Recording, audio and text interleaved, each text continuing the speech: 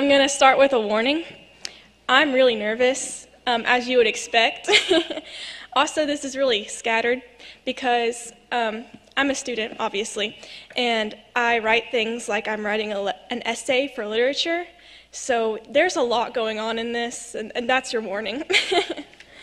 um, so today I wanted to focus on doubt. It's something I've experienced a lot. I have thousands and thousands of questions and very, very few answers. I'm going to read you something word for word that I wrote a while ago. People often call this phase of life typical teenage questioning. It's just a phase. I hope so. Or they try to explain it away, but once it gets hard, it always falls on the shoulders of ask God when you get there, I guess we'll never know, and God works in mysterious ways. I hate these phrases. And I stand by that statement that I made over a year ago. At some points, I've decided that God isn't real. Other times, I've decided to put it away and stop wondering at all. I've kind of thought that maybe it would be easier if I just tried not to think about it.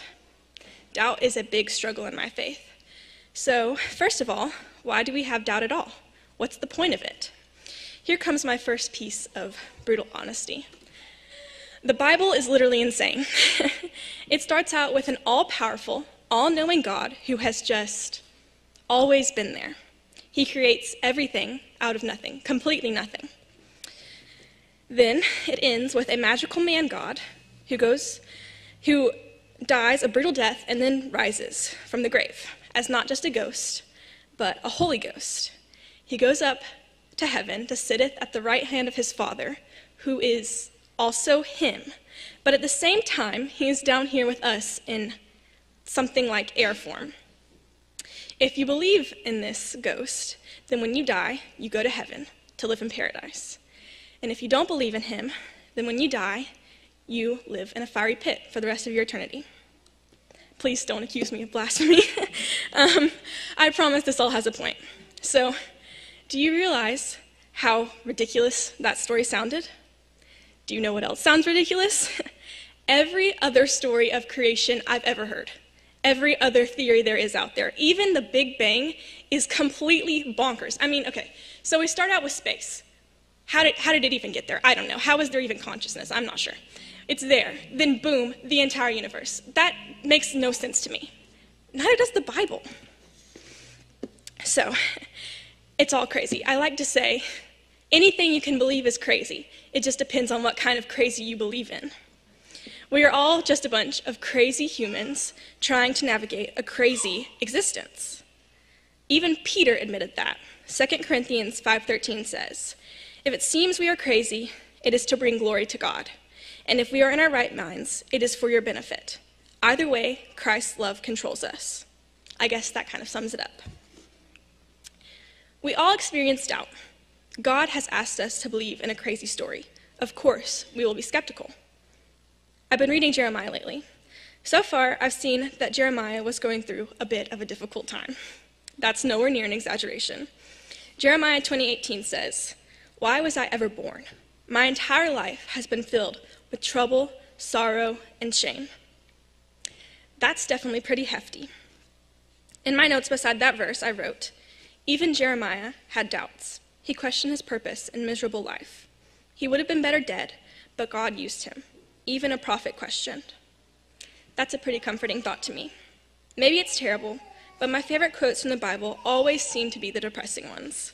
I think it's because those are the quotes that show us humanity the most.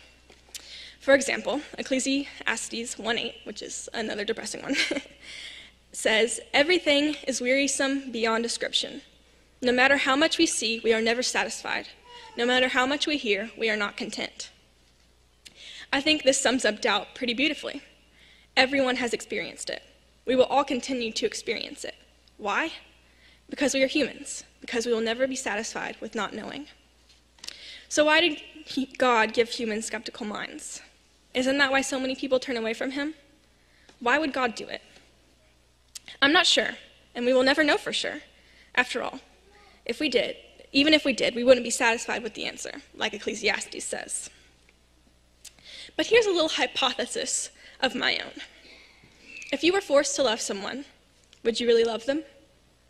If you had never known any different, and you never questioned your love for that person, or even thought about questioning your love, would you really love them? If there was no other option, if it was just a fact of life, would it really be love? Why did God put the apple in the garden? Why would He give the potential for something so awful to happen? Why did he, he just not give humans the option to sin? I don't know.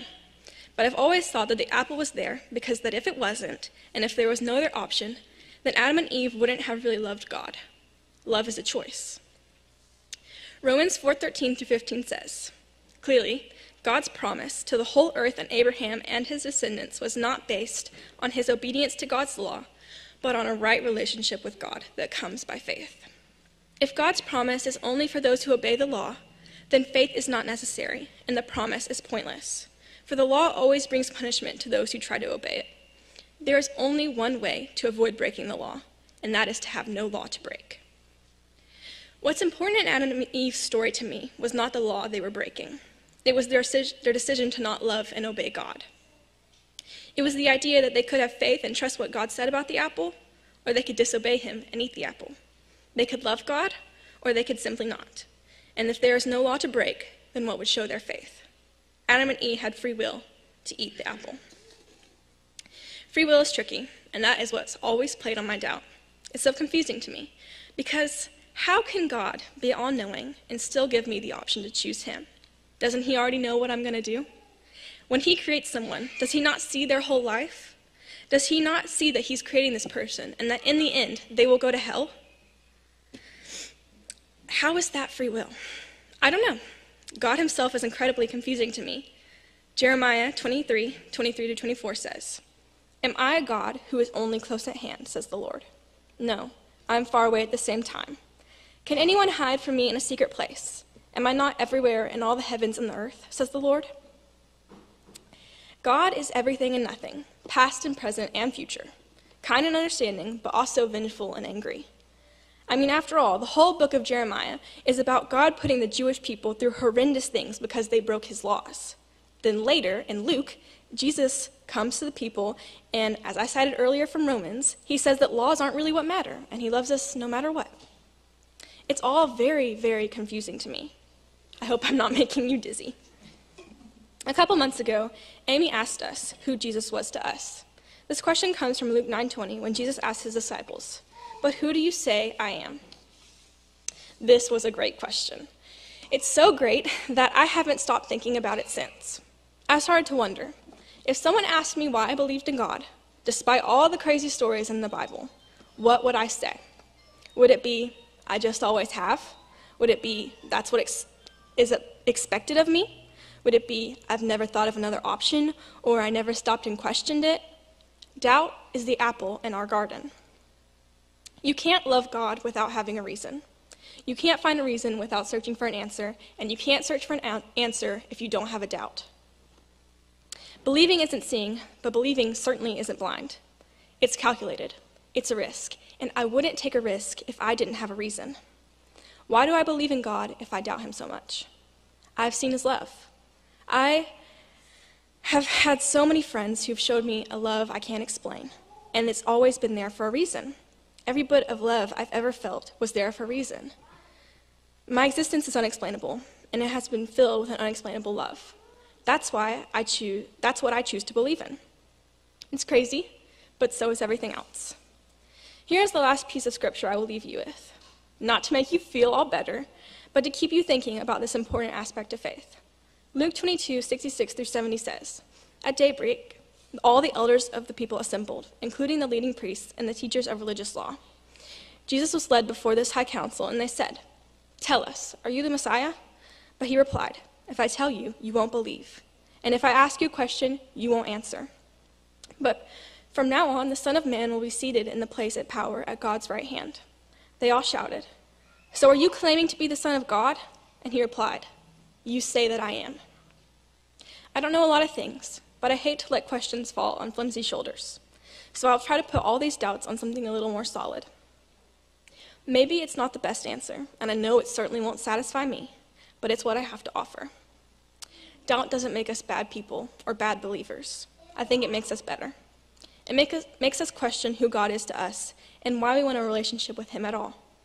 Doubt makes us question our faith, but in the end, it will be the thing that strengthens it.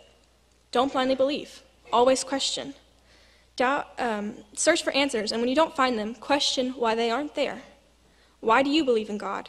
Why have you doubted Him? What makes you choose to love Him? So, thank you for bearing with me, and I hope you got as much out of me reading this as I got out of writing it. Thank you.